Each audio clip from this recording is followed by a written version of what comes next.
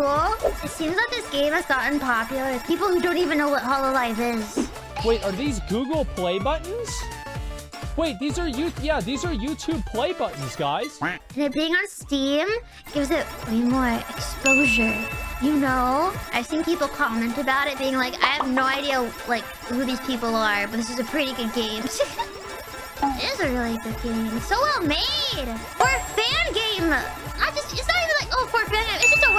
Game. And on top of it, it's a fan game and it's free. Everybody should play it. Perfect way to get people, unexpecting people, to consume Hololive. consume media of Hololive.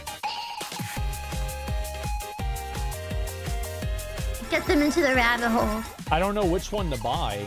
Wait, gamers. Oh, maybe we should get the gamers one. They have Korone 2 and Fubuki? Yeah, let's get gamers.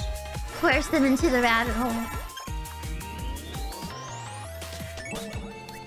Fubuki! Easy first try, dude! Oh, I got a cat girl. What the? Careful.